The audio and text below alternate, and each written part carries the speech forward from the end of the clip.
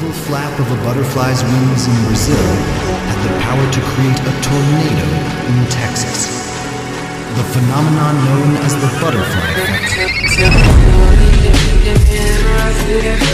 effect.